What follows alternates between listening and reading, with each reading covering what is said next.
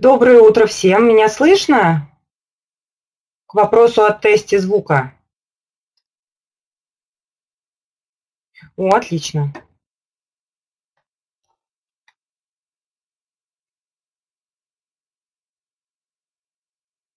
Сейчас мы подождем буквально еще секундочку и начнем наш вебинар.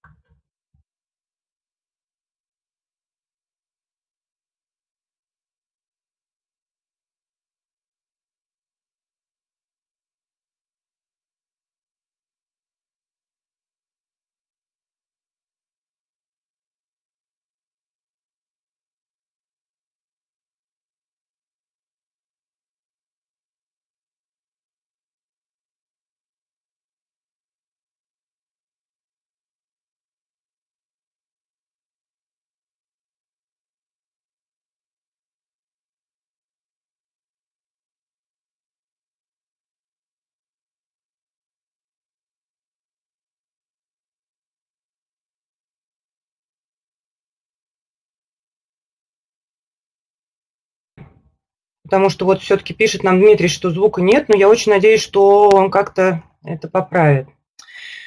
А, всем здравствуйте, кто бы где ни находился. Меня зовут Татьяна, я бренд-менеджер компании HTS. Сегодня наш вебинар ведет Сергей Зеленков. Он является техническим директором нашей компании. Сегодня мы затронем весьма важную тему циркуляции масла в контуре. Что на это влияет и как ему помочь правильно циркулировать. В общем, все плюсы, минусы и подводные камни. Прежде чем мы начнем, буквально несколько организационных моментов. А, вначале мы послушаем Сергея, а уже после он ответит на все ваши вопросы. Свои вопросы вы сможете написать в чат а, внизу слева. На время презентации чат будет закрыт, потому что это отвлекает спикера, когда постоянно падают какие-то вопросы. А, вебинар наш будет защит, записан, как и всегда, и выслан на почту в течение где-то двух-трех э, дней с момента нашего вебинара. На этом, в общем-то, все. Теперь я предоставляю слово Сергею. Коллеги, всех приветствую, всем доброе утро. Э, я вижу, что у кого-то есть еще проблемы со звуком, э, но большинства звук все-таки работает. А, рекомендую переподключиться. Мне это помогло, чтобы у меня заработала камера и э, микрофон. А, ну, в общем-то, давайте начнем наш разговор о циркуляции масла. А, презентацию всем видно? Сейчас. Всем видно? Сейчас. Сейчас я... Отлично. А, ну, о чем мы с вами сегодня будем говорить? Естественно, мы будем говорить о холодильном контуре, о компрессорах, конденсаторах, ионопроводах и так далее. А, так как мы поставляем а, готовые изделия, и наши готовые изделия это прецизионные кондиционеры в основном, то мы будем говорить именно с точки зрения наших, нашего оборудования об этом. Что же у нас будет влиять а, на наш, на наш холодильный контур и на то, как в нем циркулирует масло? В первую очередь нам надо будет разобраться с компрессорами. Компрессор – это сердце нашей холодильной машины, которое обеспечивает всю работу. Второй момент, который мы с вами рассмотрим, это взаимодействие масла и фреона. Фреон, циркулирующий э, по фрикционопроводом является основным виновником проблем с маслом. Второй момент, третий момент, который мы будем рассматривать, это фреонопровод. Об этом мы неоднократно уже говорили, неоднократно высказывали свои мнения по поводу проектирования. Я немножко напомню вам основные моменты и, возможно, их расширим. А, дополнительно мы поговорим про элементы, которые нам помогают вернуть масло, а, безопасно вернуть масло в компрессор. И поговорим о такой проблеме, как вскипание фреона в жидкостной магистрали. А, в дальнейшем я объясню, почему это важно и почему я решил как бы включить этот пункт, хотя напрямую это не влияет на циркуляцию масла. Поехали. А, как вы все знаете, а, кипение в жидкости внутри а, замкнутого сосуда происходит при определенном давлении. При этом температура будет постоянна, если давление в этом замкнутом сосуде не будет изменяться. Соответственно, для того, чтобы удалять газ, который у нас испаряется с поверхности жидкости, нам необходимо устройство. В нашем случае это компрессор.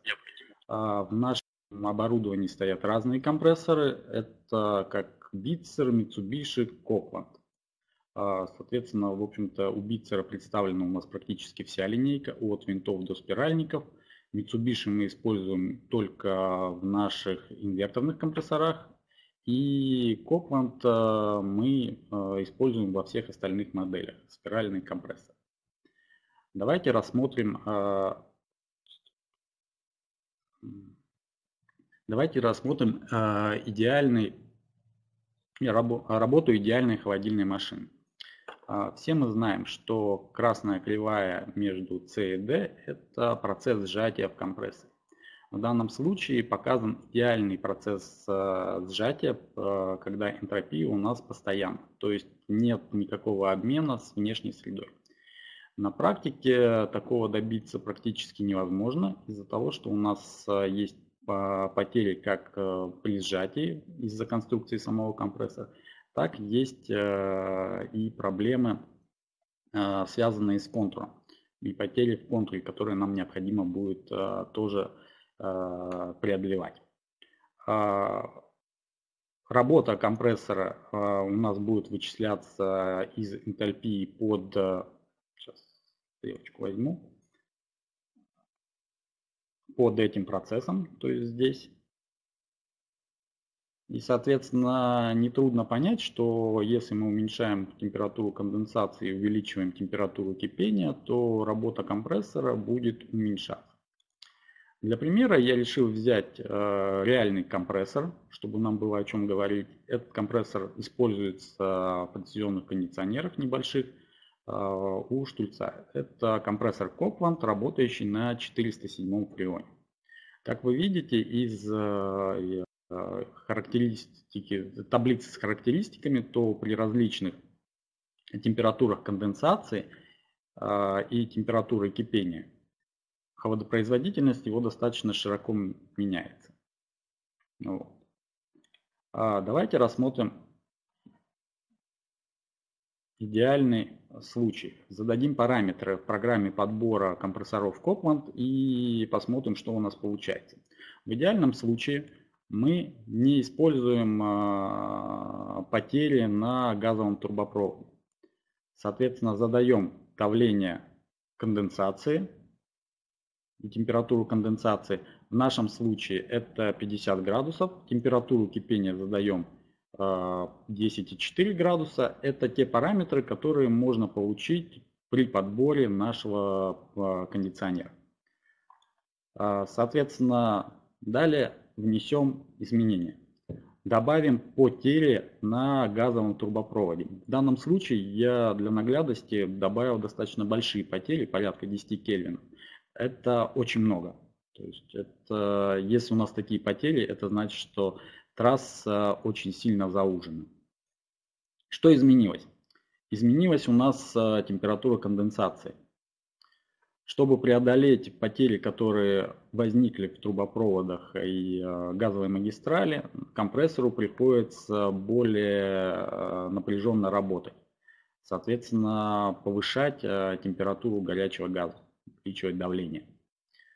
А что не не рассматриваю в данном примере. Я в данном примере не рассматриваю потери на линии всасывания.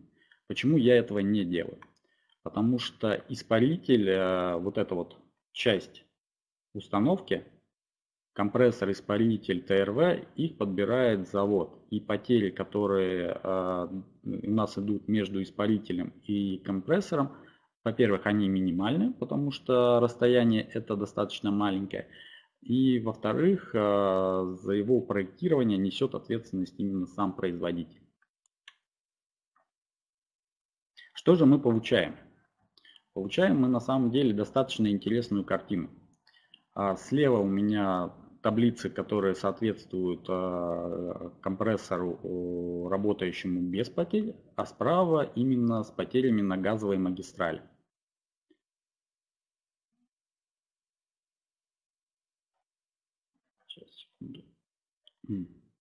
Как вы видите, у нас очень сильно ухудшился холодильный коэффициент и изменился массовый расход. Плюс э, таблица сама при, приобрела сжатый вид по сравнению с тем, что было.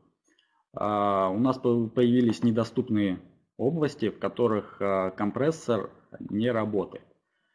Область, э, расчерченная как коричневый цвет, это малый перегрев на всасывание газа. Это чревато тем, что может происходить унос жидкого хладагента в сам компрессор. А, для Копланда это не является большой проблемой, потому что из-за конструкции спиралей он может э, определенное время работать э, с таким уносом но сам этот эффект негативно сказывается на параметрах установки. То есть испаритель может не выдавать того, что у нас заявлено, и потери в нем могут быть большими. А, как мы видим, э, холодопроизводительность у нас тоже достаточно серьезно изменилась. Вот. И график табличный, который у нас был, э, претерпел значительные изменения. А, опять же, появились недоступные области для работы компрессора. А, что мы можем сделать, какие выводы мы можем сделать? Первый и самый главный вывод, что даже при очень больших потерях на газовой магистрали компрессор у нас будет работать. Но, к сожалению, он будет работать не так, как э, рассчитывалось изначально. То есть э, работа его будет, работы он будет совершать больше, энергии потреблять больше, но холодопроизводительность всей системы и, соответственно, как бы работа компрессора будет впустую, то есть она значительно уменьшится. Плюс э, компрессор может попасть в нерабочие режимы, в которых он либо будет захватывать а, хладагент, вот, либо у него будет наблюдаться перегрев самого компрессора и, в общем-то, выход его из строя. То есть э, в данном случае, если у нас есть значительные потери э, на, входе, э, на выходе из компрессора и в трассе газовой магистрали, то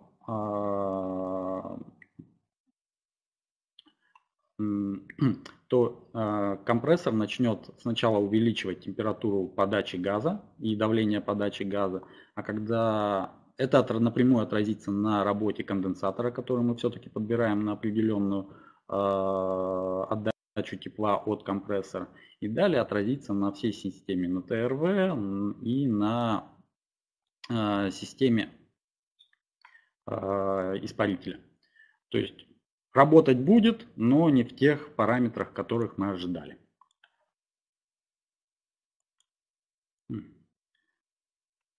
Далее давайте рассмотрим, что происходит внутри компрессора. Мы знаем, что внутри компрессора у нас есть э, масло и, соответственно, циркулирует фреон. А, эти два вещества взаимодействуют э, друг с другом. А, начнем с того, что масло имеет свойство к абсорбции хладагента в газовой фазе. То есть масло, которое находится в картере компрессора, способно растворять в себе газовый, газовый фреон, фреон, находящийся в газовой фазе. Для каждого масла и для каждого типа фреона характеристика данной растворимости, она разная. Но в любом случае э, это свойство фреона и масла имеет как положительные, так и отрицательные стороны. Положительные стороны заключаются в том, что благодаря смазке, в том числе растворенной в подагенте, у нас происходит смазка деталей компрессора, вот. Плюс уплотняются динамические соединения э, внутри компрессора, что способствует уменьшению перетечек. А что же плохого? А, при такой растворимости э, у нас э, снижается кинематическая вязкость масла, а это напрямую влияет на смазывающую способность смазки. У нас появляется унос масла, и если унос будет достаточно большой и масла контуре очень много, то у нас будет появляться масляная пленка в испарителе, что будет ухудшать его работу и теплообменную способность. А плюс э, масло может накапливаться также в испарителе, что может привести к гидроудару. Хм. Давайте посмотрим на таблицы смешиваемости и растворимости. Растворимость, э, как я уже говорил, называют именно насыщение масла в хладагентом в паровой фазе. Смешиваемость же – это способность двух жидких сред смешиваться между собой. А в целом масло и хладагент могут смешиваться неограниченно в жидкой фазе. А, но для каждого масла и для каждого хладагента существуют так называемые разрывы смешиваемости.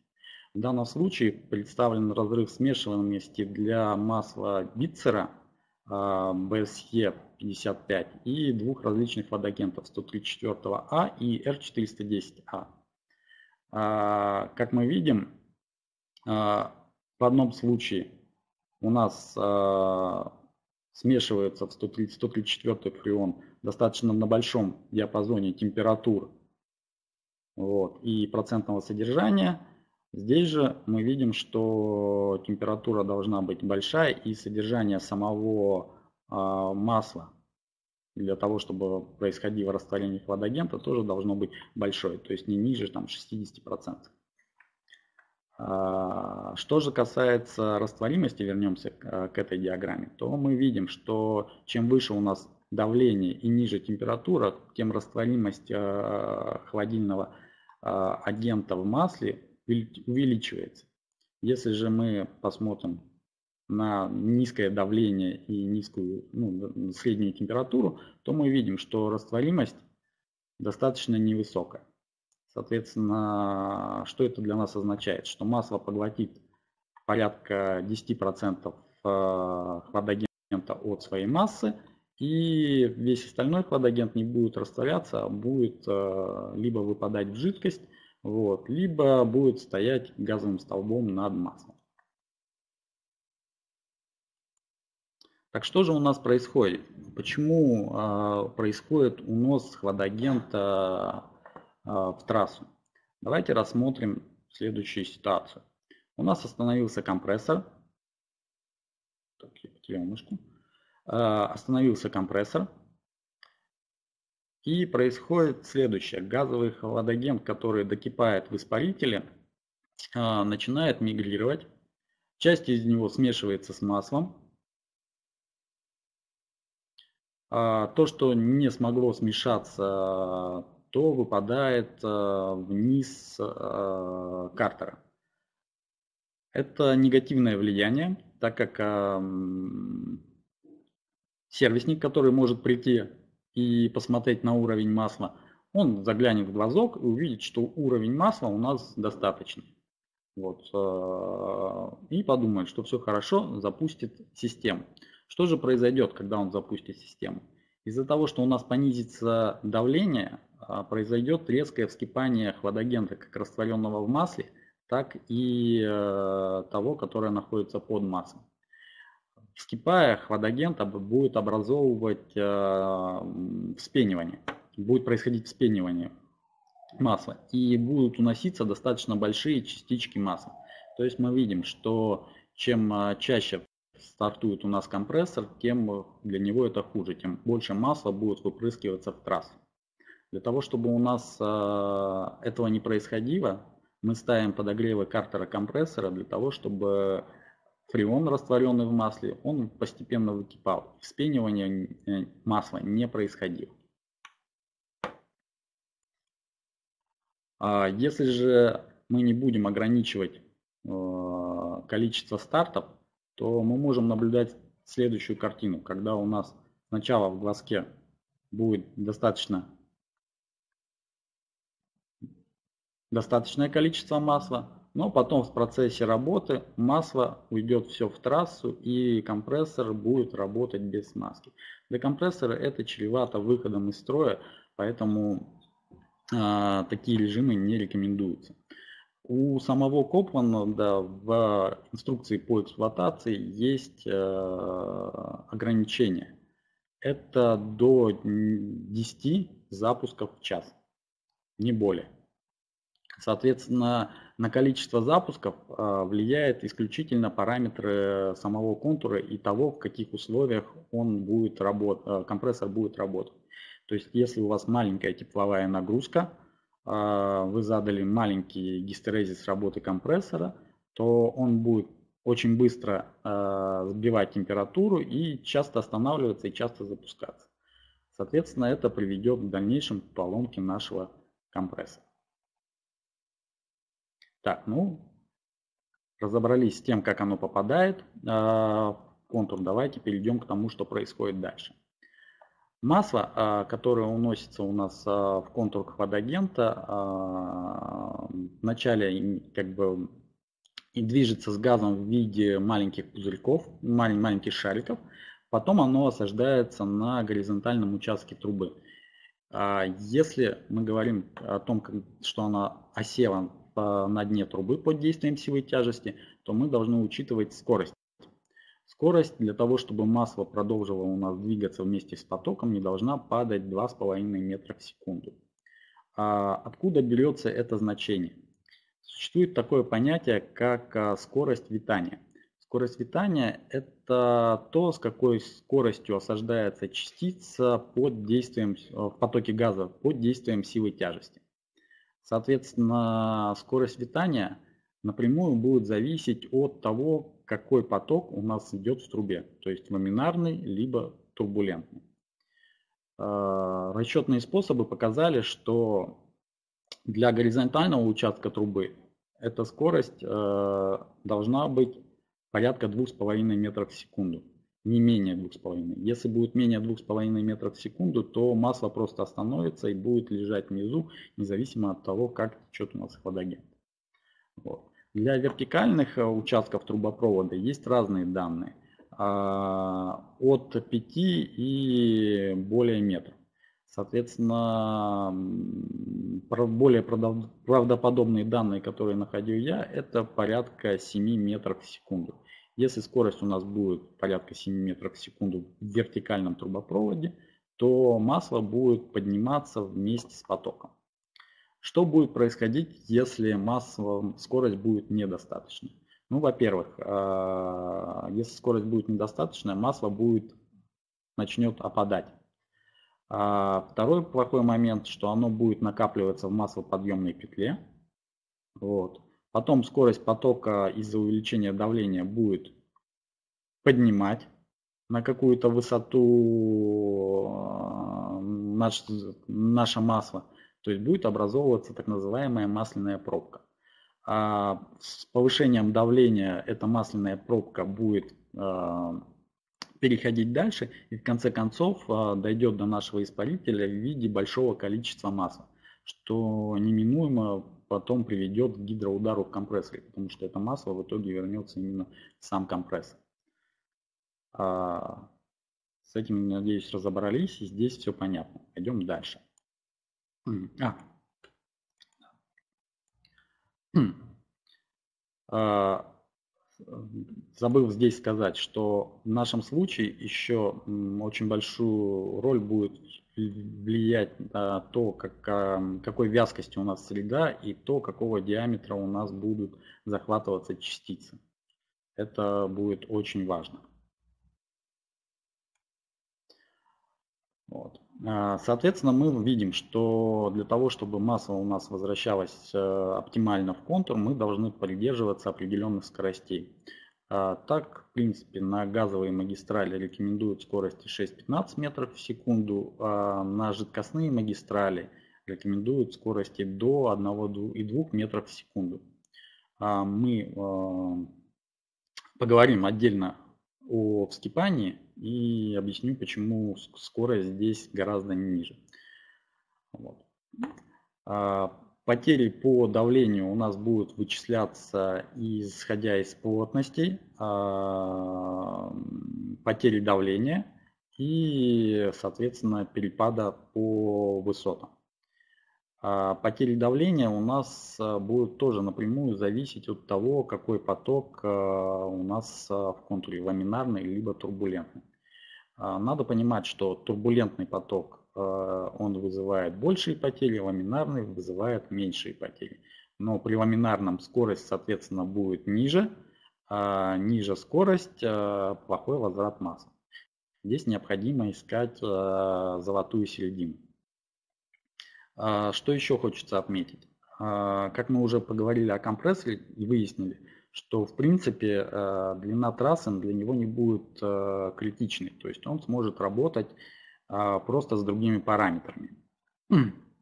А, но существует еще а, момент, что в компрессоре есть только определенное количество масла. Соответственно, оно будет уноситься и залегать в петлях. Чем больше петель либо застойных зон для нашего масла, тем больше вероятность того, что компрессор рано или поздно начнет работать на сухую. Добавление масла не является панацеей в данном случае, так как если мы добавим а, большое количество масла, то опять существует вероятность, что а, рано или поздно масло накопится у нас, допустим, в конденсаторе и вместе с жидкостью вернется в компрессор, неминуемо а, приводя к гидроудару. Соответственно, этот вариант для нас не подходит. Как вы знаете, мы рекомендуем делать э, петли 5-6 метров для газовой магистрали. А, можно делать мет, петли и ниже, но петли ставить обязательно. Конструкция петли э, должна быть минимальной, то есть э, нельзя делать петлю длинной, слишком длинной, так как в, в длинной петле будет накапливаться большое количество масла.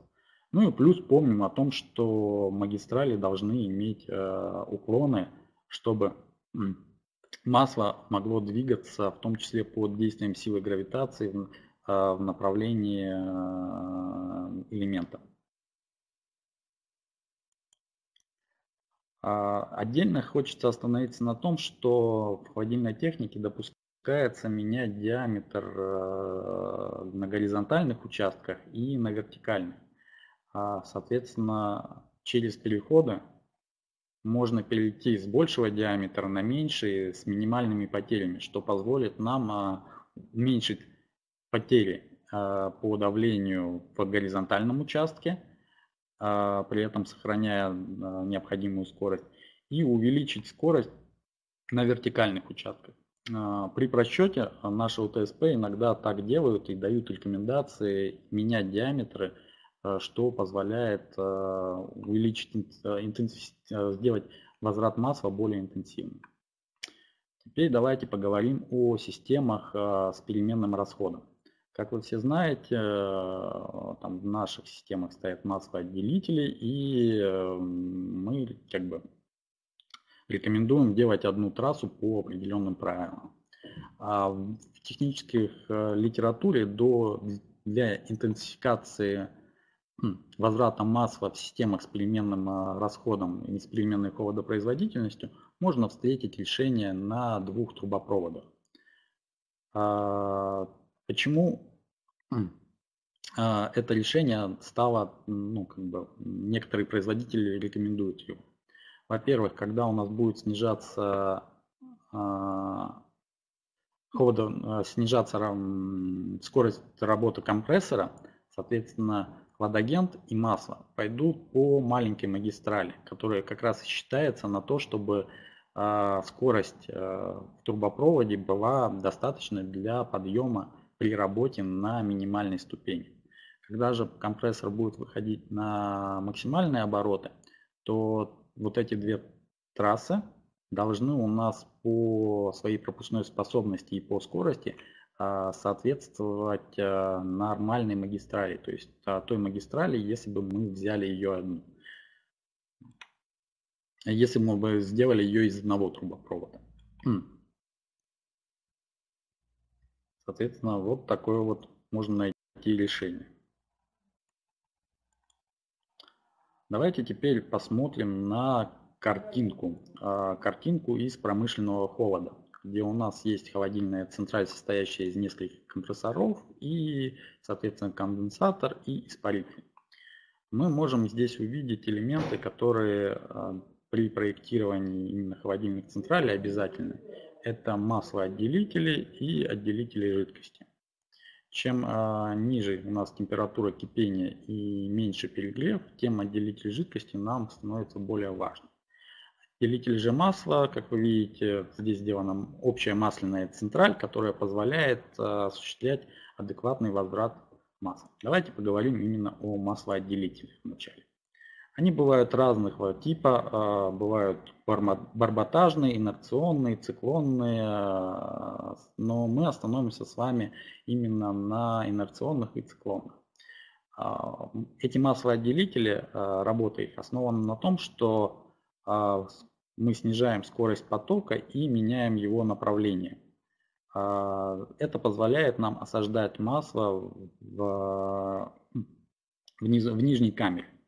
У циклонных немножко другой принцип, но по сути то же самое. То есть а, благодаря центробежной силе закручивающегося потока а, масло начинает стекать по стенкам конце концов у нас происходит изменение направления движения, что позволяет э, также снизить скорость и, соответственно, предотвратить унос массы.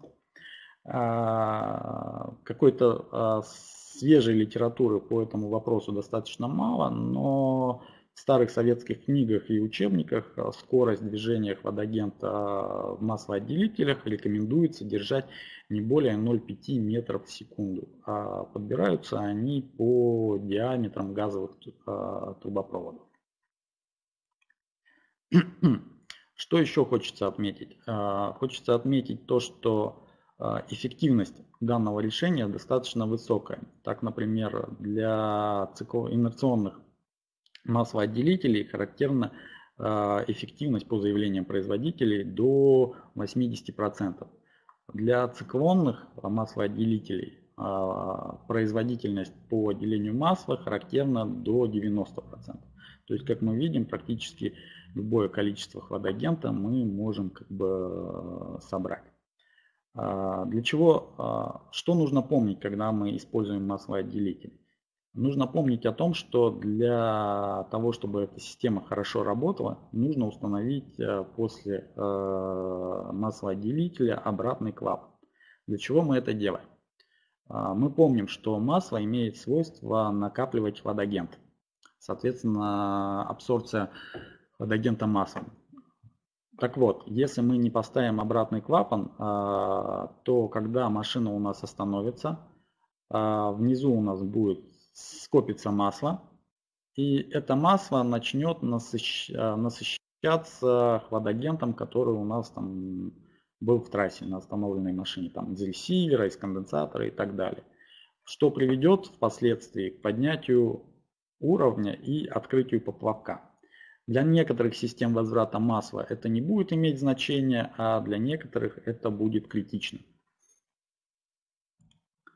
Так, если мы говорим о возврате масла а, через электронный э, регулятор уровня масла, то а, это не будет критично, так как а, внутри самого электронного регулятора уровня масла есть поплавочек, который меряет именно количество масла в картере компрессора и открывается, когда и сам клапан открывается, когда этот уровень падает.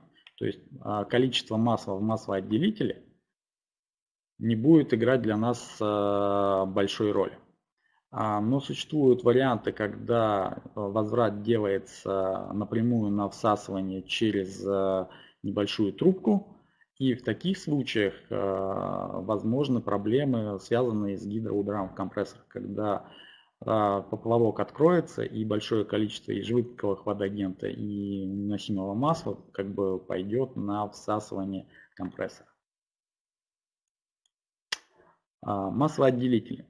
Принцип действия масла, о, отделителей жидкости. Принцип действия отделителей жидкости такой же, как и у маслоотделителей. Немножко различается конструкция. То есть а, точно так же мы меняем скорость направления, скорость потока в сосуде и, а, и меняем направление движения потока. Соответственно, отделители жидкости. А, как мы помним а, из картинки, на промышленных холодильных установках они всегда стоят.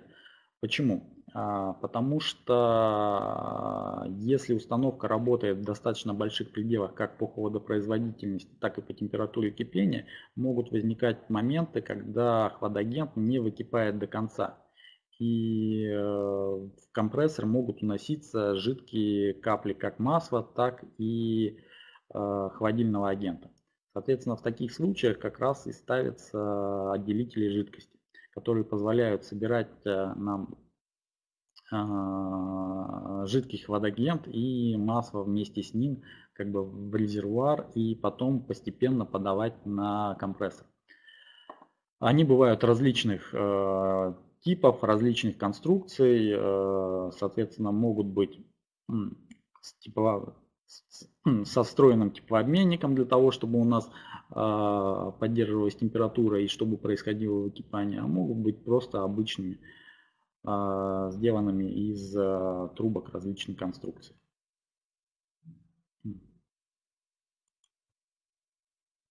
А, перейдем к следующему моменту и последнему на сегодня. Поговорим о вскипании хладагента в жидкостной магистрали.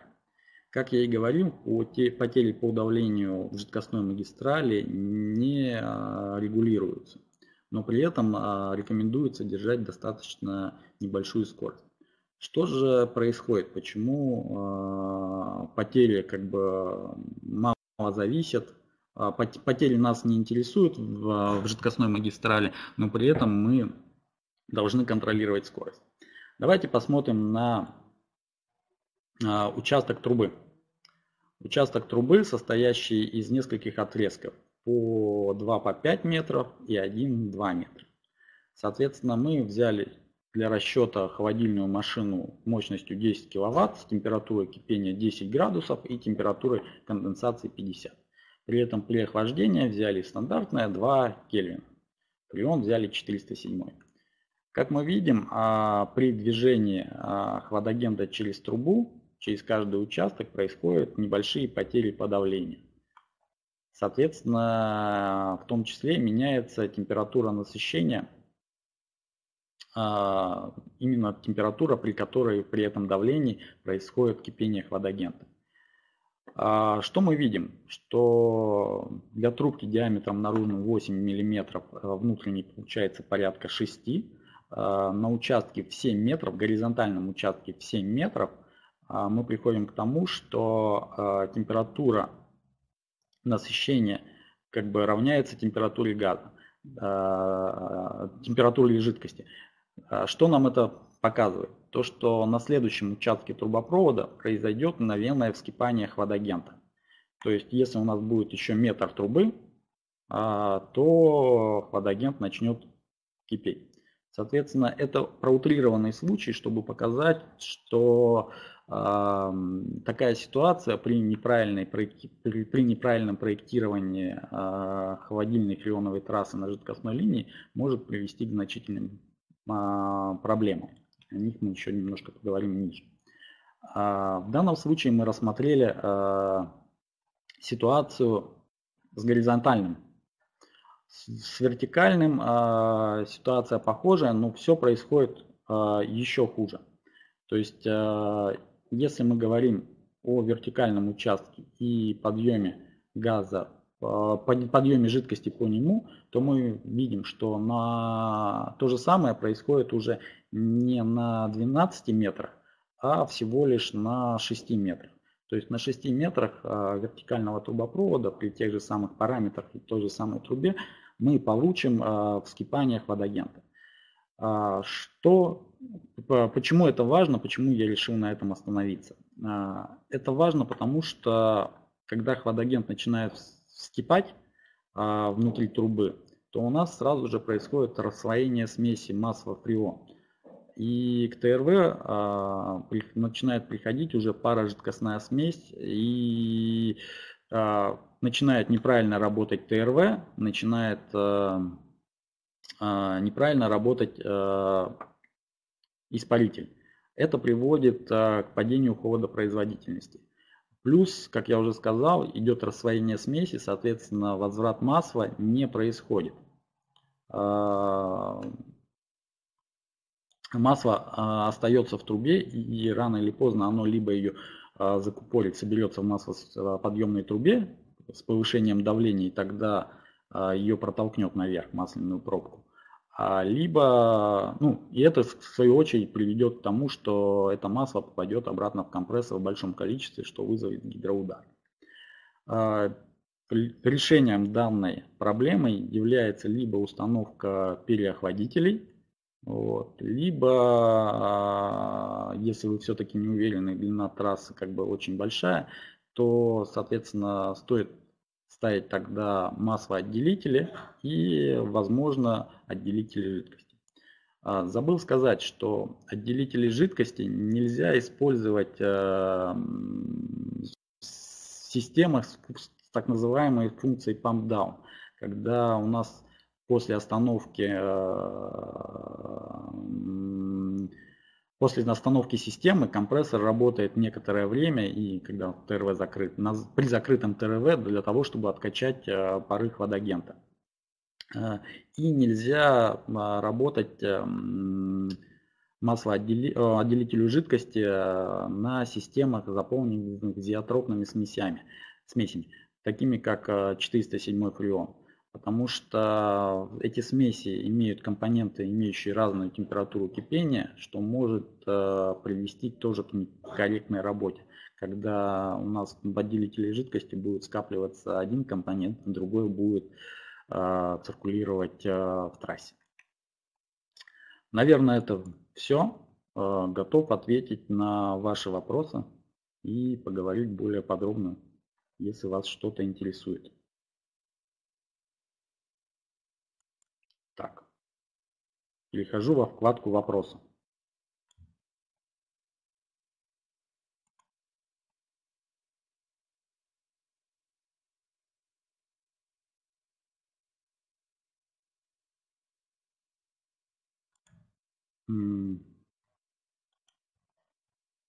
Коллеги, есть ли у вас вопросы?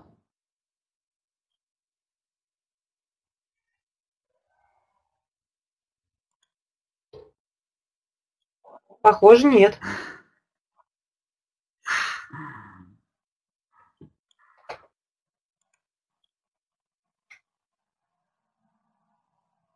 Ну, я думаю, нам нужно немножечко подождать, пока вдруг все сейчас резко напишут кучу вопросов.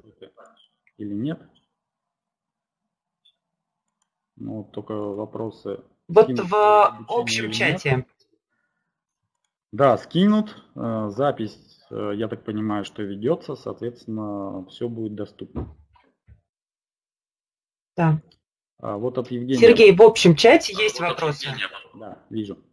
А, да, Евгений, а маслоподъемные петли в любом случае нужно ставить. А, это необходимо делать, потому что а, скорость потока масла тоже не может бесконечно поднимать вот эту масляную пленку, которая образуется в трубе. Соответственно, уровень подъема этой масляной пленки э, составляет порядка 6-7 метров. Соответственно, поэтому мы через каждые 6-7 метров ставим маслоподъемную петлю, чтобы у нас не происходило э, вот обвала нашего масла как бы внутри контура.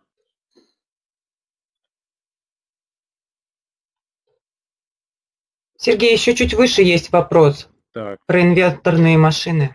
А, как я уже говорил, что там на наших инверторных машинах в обязательном порядке стоит маслоотделитель, э, который контролирует уровень масла и позволяет э, отделять его как бы на этапе, когда на самом близком к компрессору этапе.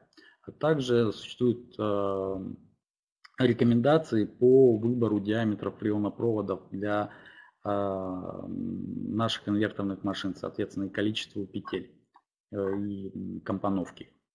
А, вариант, который я показал, тоже допустим, вот, но он требует э, более углубленных знаний и, соответственно, от инженера-проектировщика требует э, выполнить расчет. Вот он как бы сам по себе не сложный, но это надо как бы заморочиться. Вот. Некоторые производители э, имеют специальные монограммы, э, в зависимости холодопроизводительности от э, э, диаметров трубопроводов и, соответственно, предлагают выбор, в том числе для систем с инверторами, э, выбор по монограммам диаметров.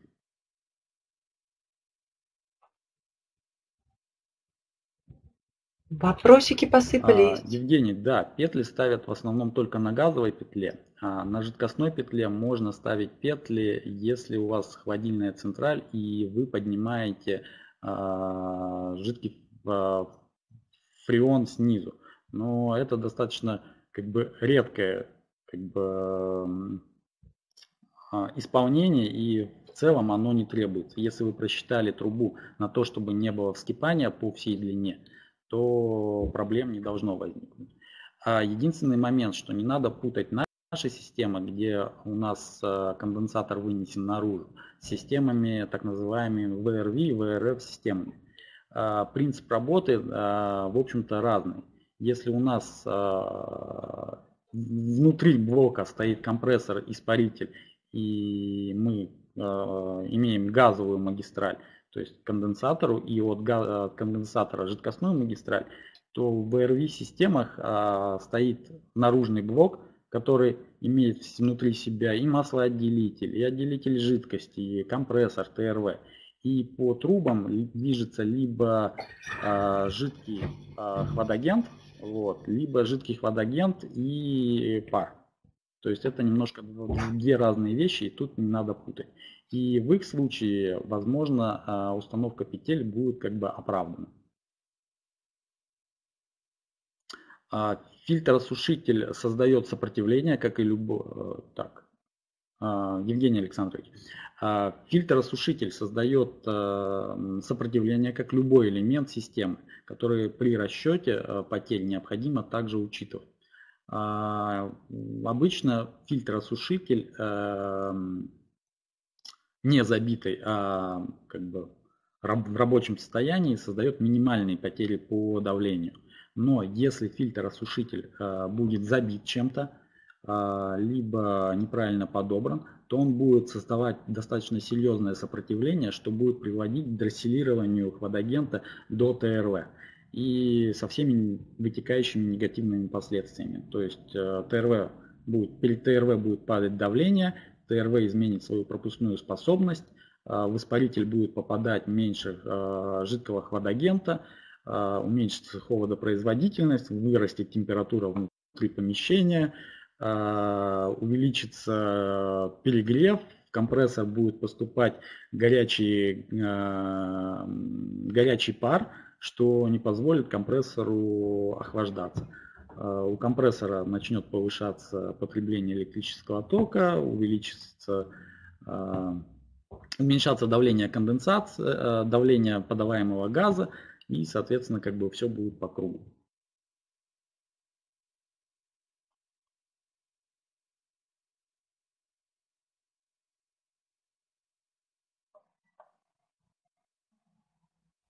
А, объясню, Алексей Игоревич, потому что в ресиверах а, хладагент у нас находится в жидкой фазе.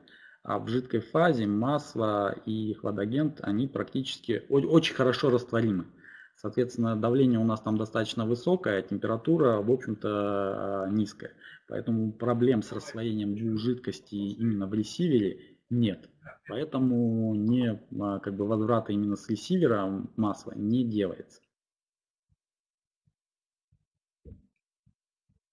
Так.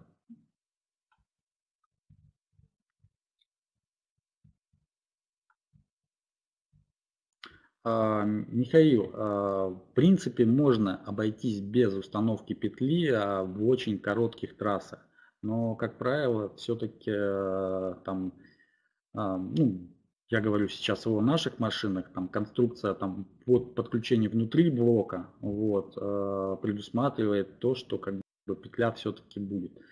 Вот. Ну, то есть там по-другому просто не сделать выход. То есть а, либо это снизу, то есть выходишь, как бы делаешь петлю и поднимаешься наверх, либо это подключение сверху, когда ты вышел и сделал петлю и пошел наверх. В принципе, если там и конденсатор, и испаритель установлены на одном блоке, то на петлю можно не делать. М-м. А, Александр Николаевич, а, скорость фреона а, рассчитывают, ну, в общем-то, по формулам, которые по формулам в зависимости от типа потока. А проще всего, там, если не вдаваться там, в физику, а, использовать специальные а, программы, такие как, допустим, Cool Selector, который позволяет на тех же самых формулах рассчитывать скорость. То есть вы выбираете характеристики системы, а, задаете элементы и, соответственно, программа позволяет достаточно быстро и качественно просчитать а, в общем-то, всю сеть. А, Мирослав Владимирович, хороший вопрос. Мы считаем, что подогрев картера, в общем-то, желательно ставить во всех случаях, а, потому что там, наши системы основного кондиционирования не имеют функции pump down, поэтому при остановке в испарителе происходит докипание водоагента, который в итоге как бы будет абсорбироваться а, маслом внутри, что приведет, опять же, к неверному значению в глазке, а во-вторых, а, может привести к вспениванию водоагента при старте.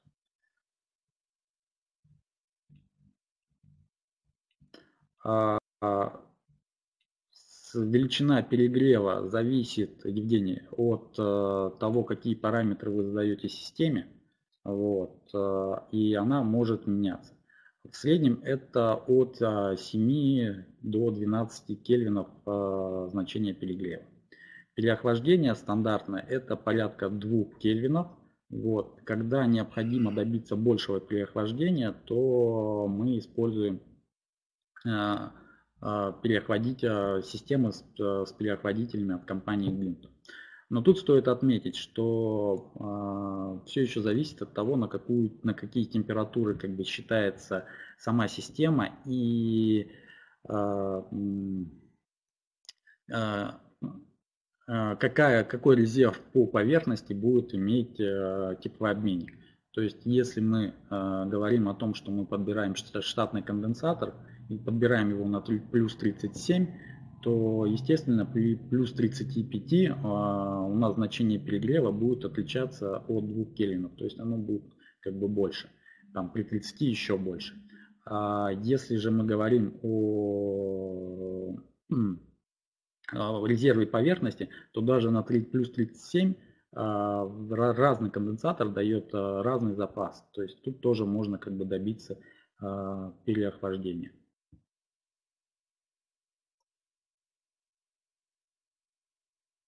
Так, ну да, тут коллеги написали про куб селектор.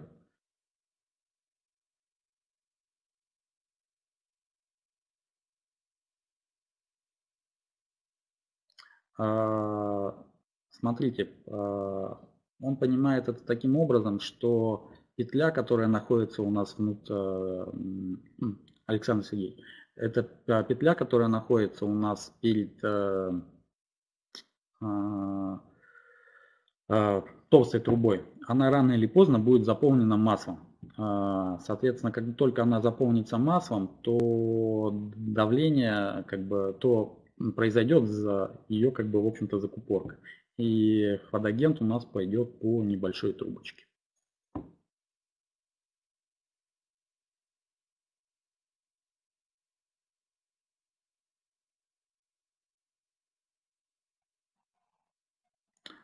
смотрите, э, Дмитрий Игоревич, э, там, у нас есть, в принципе, функция там, аудита системы вашей.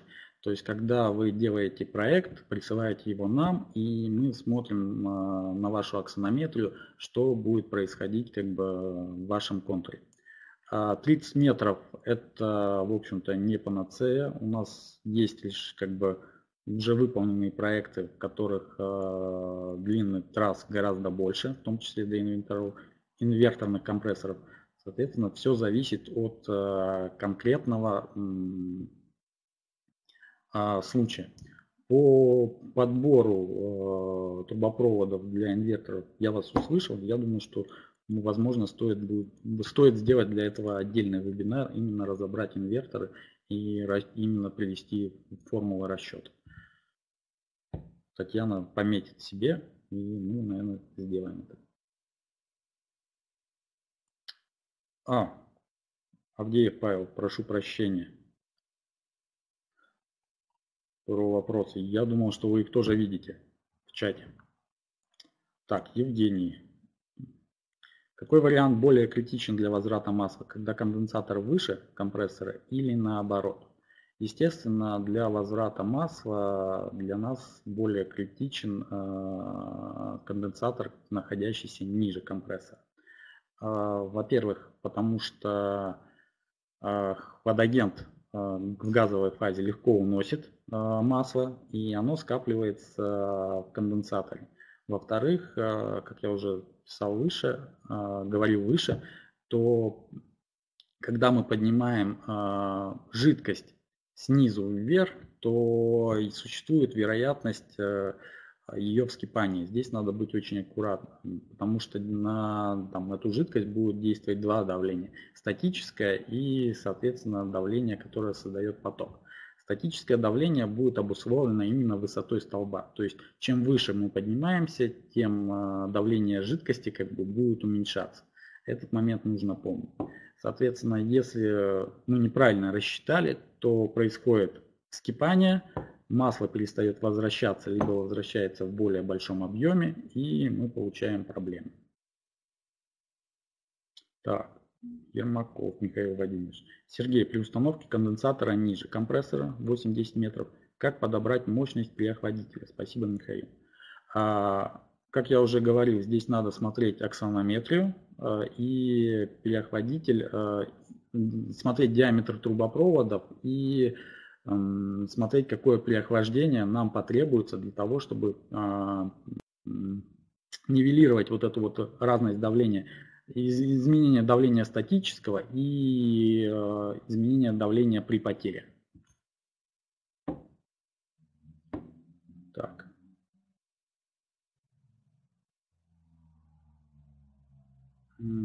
Алексей Игоревич, к сожалению, я не могу вам ответить, насколько велики потери давления в циклонном отделителе масла. Это будет зависеть от типа и от производителя.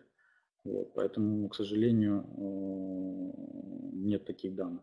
Вопрос был, насколько велики потери давления в циклонном отделителе масла, сколько метрам магистрали это соответствует.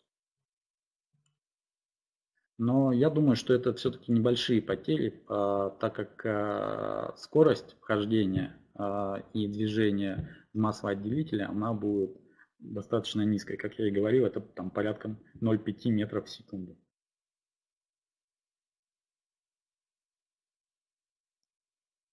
Авдеев Павел. Есть ли в ваших инверторных системах режим разгона компрессора при долгой работе на минимальных оборотах? А, да, такой режим возможен, работе, в работе. Но тут еще зависит от э, того, как настроена сама система. То есть, если вы понимаете, что э, у вас там недостаточное количество недостаточное количество теплоты нужно отводить от помещения, то надо очень тщательно подходить к настройке. Потому что в основном алгоритм работы инверторов это такой, что он разгоняется до определенной величины. Потом, если он видит, что температура снижается, то он начинает снижать обороты, доходит до определенного минимума и держит на этом минимуме, как определенное время. И вот здесь важно понимать, что если у вас этот э, минимум достаточно короткий и компрессор э, сильно охладит, то он просто как бы остановится. А,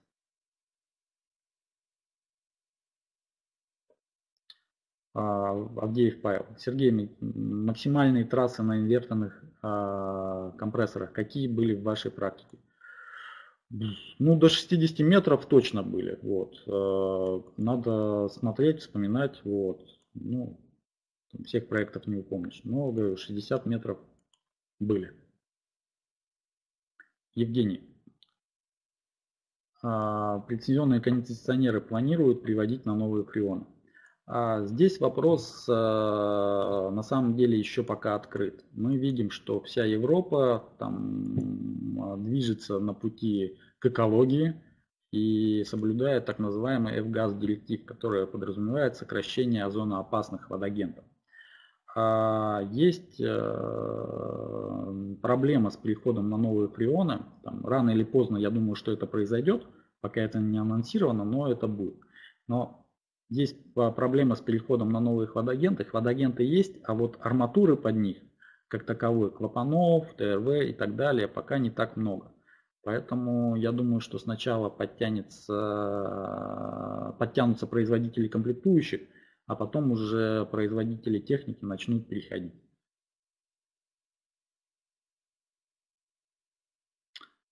А, Андрей, приветствую. Вопрос от вас. В каких случаях дозаправка маслом требуется?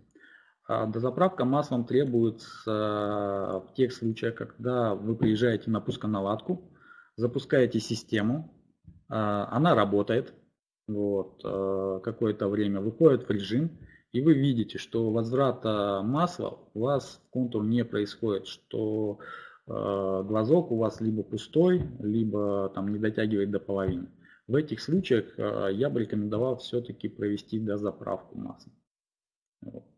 Но именно это надо делать как бы, в общем-то, аккуратно смотреть на конфигурацию трассы. Возможно, а, она сделана неправильно. И есть какие-то места, где фреон а, просто залегает. Вот. Допустим, там где-то за стенкой был сделан переход там, между диаметрами, и вертикальный участок был сначала узкий, а потом стал достаточно широкий. А, соответственно, как бы там в петле будет залегать масло, потому что скорости будет недостаточно. Поэтому в данном случае а, надо смотреть проект, что сделано на объекте и контролировать, как возвращается масса. Иначе можно получить печальные последствия.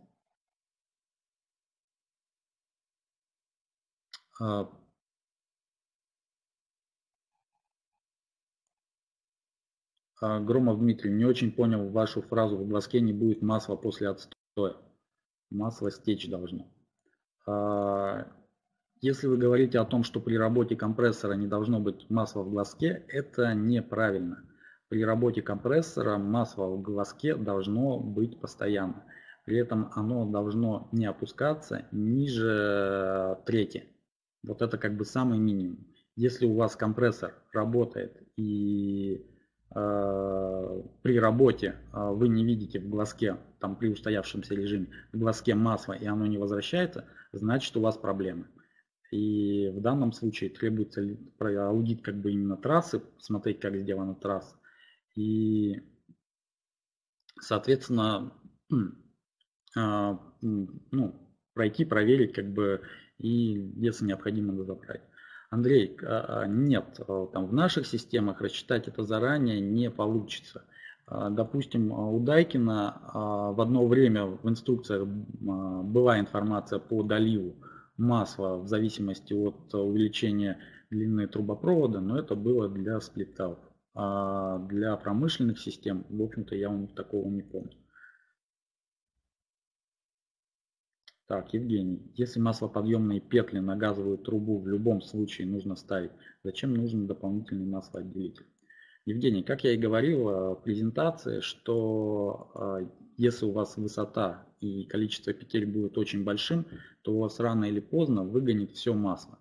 А, либо количество этого масла, которое будет циркулировать в системе, будет достаточно большим. Обычно это количество масла должно быть порядка там, 10 там, процентов от заправки. Вот, ориентировочно. А если у вас будет больше, то опять же существует вероятность того, что где-то масло скопится, и вот это скопление масла либо придет в компрессор, либо как бы целиком, либо будет там накапливаться, пока не скопится все. Поэтому, чтобы не было проблемы, лучше ее предотвратить на там, зародыш. То есть поставив маслоотделитель, а, вы себя страхуете от того, что количество масла, уносимого в систему, будет нарастать.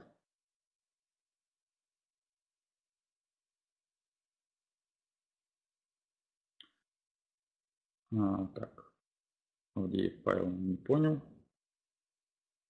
А, так, я про то, когда компрессор встал.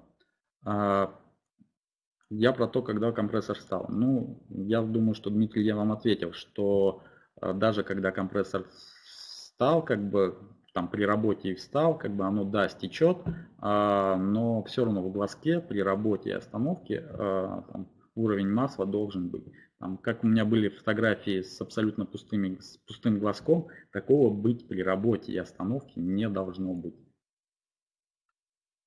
Так, да, у вас есть рекомендации для их компрессоров.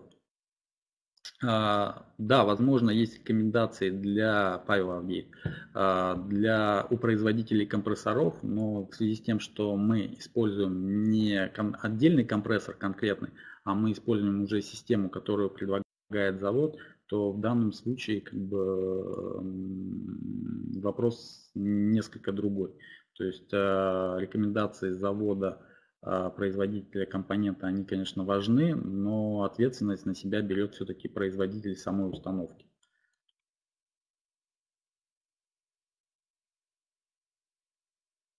Так, Евгений, зачем нужна самая верхняя перевернутая петля? А, вот эта обратная петля необходима нам для того, чтобы если у нас образовывается масляная пробка тем или иным образом, то это масло как бы переваливалось и шло дальше. Вот. Э, также, когда у нас поток идет, то поток эм, как, углы будут нам создавать большее сопротивление, чем плавные переходы. Соответственно, делая вот эту вот петлю, мы замыкаем как бы контур и предотвращаем э, обратную перетечку там масла и так далее. То есть масло у нас уже а, там, в обратную сторону там, ни при каких обстоятельствах не потечет. Так, Дмитрий Игоревич, есть рекомендации по доливу масла в зависимости от длины трубопровода и Веймерсона? Возможно. Но нам, понимаете, трудно комментировать то, что рекомендуют э, другие производители. В нашем случае как бы ну, рекомендация завода, что э, трассы должны быть рассчитаны таким образом, чтобы долив не требовался. Так, в вопросах есть вопросы. Как в ваших кондиционерах реализуется возврат масла?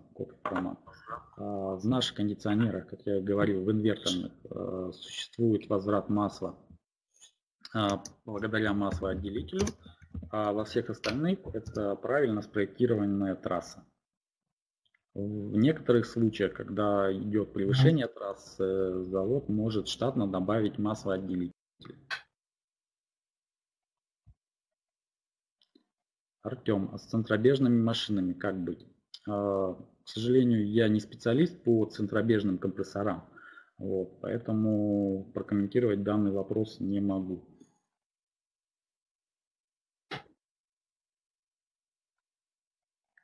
А, Евгений. Ну, вроде мы закончили с вопросами. Евгений, еще вопрос. А.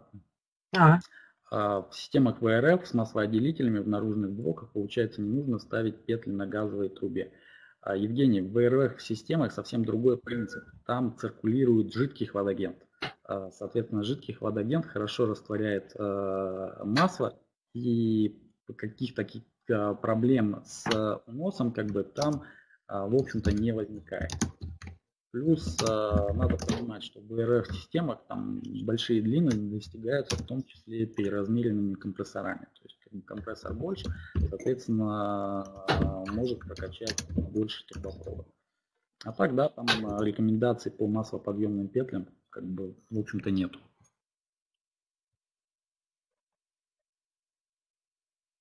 Евгений, пожалуйста. Спасибо большое, Сергей, за интересную презентацию в целом. Подписывайтесь на наши соцсети, мы выкладываем там много всего интересного, всевозможные анонсы и прочее, видео. И будем рады видеть вас среди наших подписчиков. Коллеги, всем спасибо, всем хорошего дня, не болейте.